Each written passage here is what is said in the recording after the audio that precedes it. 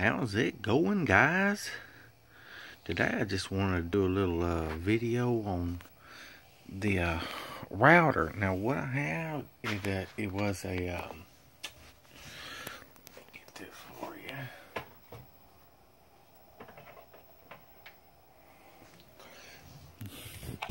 This Asus. Uh, I couldn't get my my PSP to connect to it no matter what I did and uh, tried to reconfigure it and just I, I just couldn't get it to connect. But I found uh, I found this uh, Cisco is uh, Linksys. Um, it's a 54 let me see it's uh, a WR2 54G2 V uh, 1.5 but uh that without any any uh, problems linked right up with it um, I know it's an older version and um,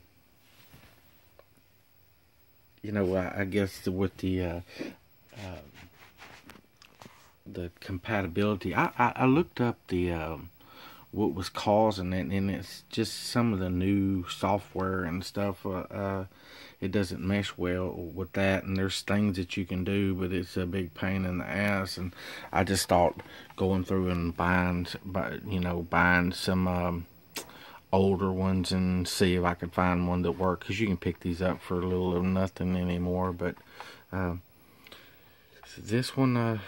This one here does a job for any of you guys out there trying to, you know, put your PSP on blast and, uh, you know, yeah, for file transfers and things like that. It's it's great. I keep most of my uh, most of my stuff on my PS3 hard drive, and I I have a couple of uh, the little memory cards that I interchange between the two. But yeah, guys, I just thought uh might want to that little tidbit of knowledge.